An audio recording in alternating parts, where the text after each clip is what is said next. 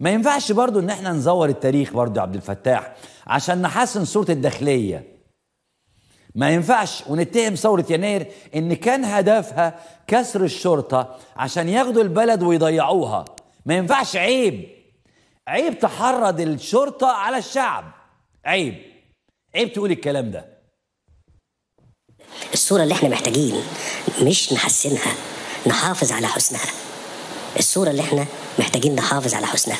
اللي هي صورة آه، المصري اللي بيعمل في القطاع ده. لأنه هو مصري. واللي إحنا كان محاولة كبيرة جدا اتعملت خلال السنين اللي فاتت.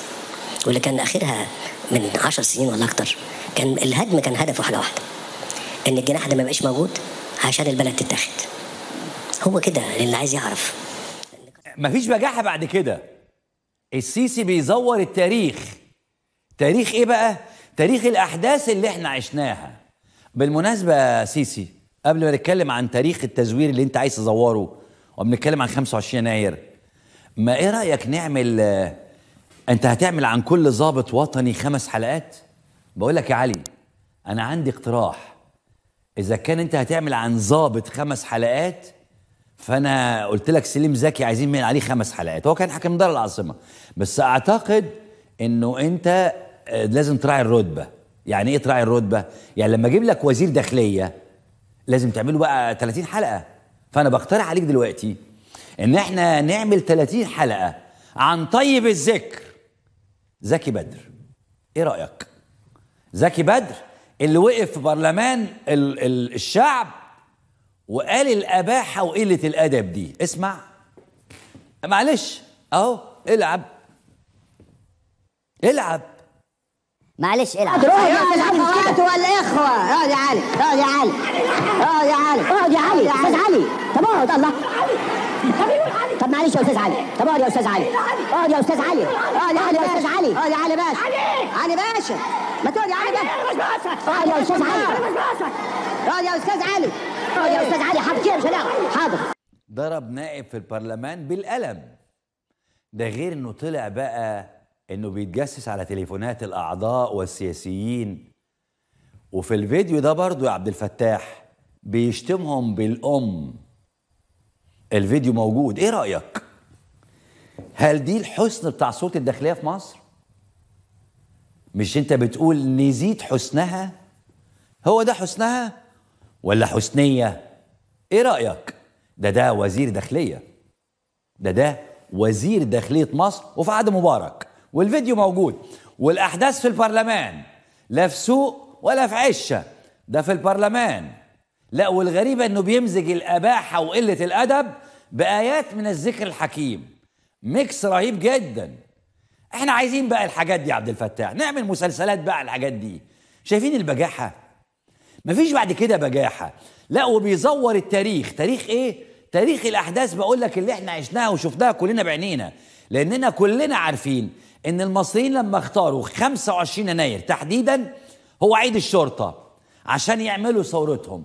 كان الموضوع أساسا احتجاج كبير جدا على سلوك وممارسات ووحشية عملتها الشرطة المصرية في حق المصريين ودفعتهم إلى الثورة.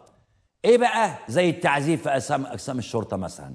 يلا بقى يا عبد الفتاح نعمل المشاهد دي اللي كانت سبب في تفجير يناير.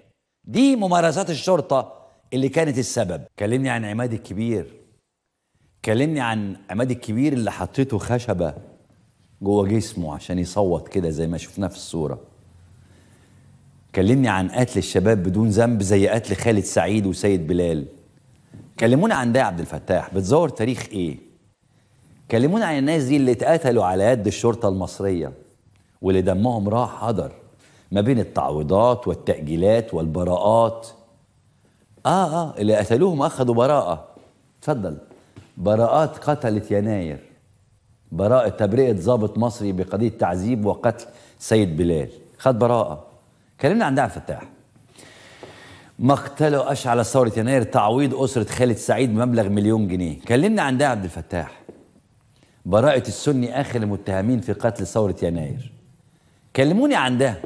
اتهموه في ثلاث قضايا. براءة آه مدير أمن البحيرة السابق أبو قمر. مجدي أبو قمر. اللي حطها معادلة صحيحة. مجدي أبو قمر طلعوه براءة. ده اللي كان بيقول إحنا أسياد البلد. واللي إيه مد ايده على سيده تتقطع. كلمنا عن مجدي أبو قمر يا راجل. أهو اسمع. العب. إحنا على راجل واحد ايد واحدة. وما نسمعش الكلام ده. وعمالين يطلعوا اشاعات مش عارف مساعدين وزير مش عارف إيه ومش عارف الك- الكلام ده. كل ده كده. كل ده كده. الإشاعات اللي بيطلعوها دي كلها مقصود بيها. أنت طبعا راجل هتقول لك مساعد الوزير. طب أنا مدير أمن مساعد الوزير لما يروح المحاكمة. يبقى أنا أروح بقى أمشي. فكل دي إشاعات وكل ده كلام بيتردد. المقصود منه إنه طبعا آه، آه، هو مخطط عشان تبقوا عارفين. المقصود منه كل المراكز والاقسام وداخله والناس دي تستولى على البلد وتستولى على السلطة بس اللي يمد إيده على سيده لازم إيه؟ يتضرب بالجزم تتقطع إيده. وإحنا اسيادهم وإحنا ال- الأمن وإحنا الأمان وإحنا اللي حاميينهم والناس كلها كانت بتعيط بتقول يا رب تيجوا إحنا أسياد البلد. دي الحقيقة بقى يا عبد الفتاح نعمل مسلسل عن مجدي أبو قمر وبطولة مجدي أبو قمر. الكلام ده يا عبد الفتاح هو اللي خلى الناس تخرج في يناير الافتراء والجبروت على الناس هو اللي خلى الناس تخرج. دولة ما فيهاش قانون دولة جسدها السيناريست الكبير نصر عبد الرحمن وإحنا كلنا فاكرين جسدها في إيه بقى نصر عبد الرحمن؟ هي فوضى. أيوه وخالد يوسف عندك. هي فوضى. أنا البلد حاتم أمين شرطة. جسدها نصر عبد الرحمن بعبقرية. وإزاي تجبر أمين شرطة خلاه يقف قدام وكيل نيابة؟ لأنها دولة بلا قانون. البوستر كان رائع بتاع الفيلم ده. السيناريو رائع. التمثيل كان رائع. لو عندك ده بقى العبه. هو ده هو ده. كلمونا عن حاتم ده اللي جسده ببراعة نصر عبد الرحمن. وتحية لنصر عبد الرحمن. كلمونا عن ده. مش تقول لي خمس حلقات. إحنا هنزور التاريخ.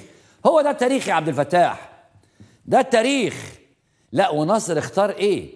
ما اختارش مجدي أبو قمر مدير أمن. ما اختارش نقيب. ده اختار أمين شرطة. أقل واحد في السلك بتاعهم. وإزاي تجبره؟ وصلوا لمرحلة إنه يقف قدام وكيل نيابة ويتحداه. هو ده. دي دولة الله قانون. مش زي ما انت طالع تكذب وتقول كانوا عايزين يكسروا الجيش والداخلية وياخدوا الحكم. هو اللي خطف الحكم هو انت. اللي خطف البلد هو انت مش المتظاهرين. البوستر ده كان رائع. إيه بقى روعة البوستر ده؟ روعة البوستر في التجهيل. يعني إيه التجهيل؟ شوف النجوم اللي تحت. شوف النجوم. لكن روعة البوستر ده في التجهيل. يعني إنه ده واحد مديك ظهره. اللي مديك ظهره ده لابس لبس شرطة. ممكن يطلع أي حد في الشرطة. لا ممكن أي حد في الشرطة يبقى كده. مش هو حاتم بس. والدليل على اللي بقوله لك ده إن الأستاذ خالد صالح رحمه الله عليه تحت في الصور اللي تحت. وهو ده خالد صالح إحنا عارفين إنه ده بظهره.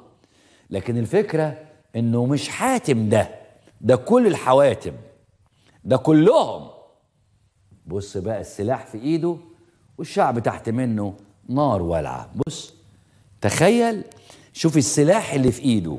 هو دي ده اللي خلى يناير تقوم يا عبد الفتاح. انما تقول لي خطف الحكم. متظاهرين يناير كانوا عايزين ديمقراطية وحرية. ما فهمش واحد فشل في الداخلية فراح عمل مصوره ما فهمش واحد كان عايز حاجة غير إنه يبقى عيش وحرية وكرامة.